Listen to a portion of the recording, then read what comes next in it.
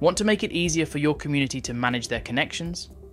With the following and followers tabs in the BuddyBoss members directory, users can keep track of who they follow and who follows them all in one place. In this tutorial, we'll walk you through how to enable these features. Let's get started. To enable the following and followers tabs, you'll first need to make sure the follow feature is turned on. Navigate to BuddyBoss, Settings, Activity. Locate the follow feature. If it's not already enabled, simply tick the checkbox to turn it on.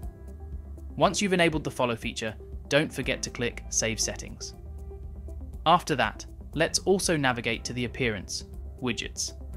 Then add the following and followers widgets to the Activity Directory left section or to whatever section you want that makes sense for your community.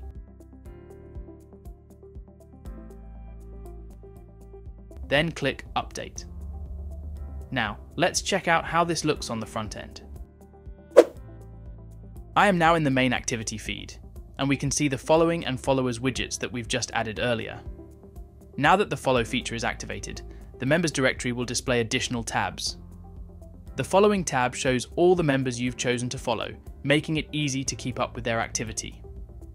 While the followers tab displays members who are following you, helping you engage with those interested in your content. With these tabs, users have a better way to manage their connections, whether they're on the web or the mobile app. You'll also notice a change in the placement of the directory count.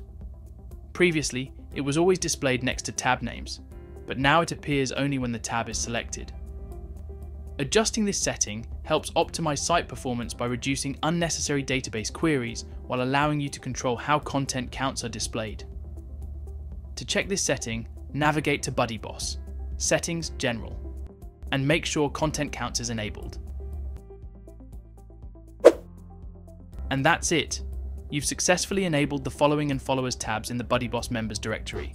If this tutorial helped you, be sure to like this video and subscribe for more BuddyBoss tips. See you in the next one.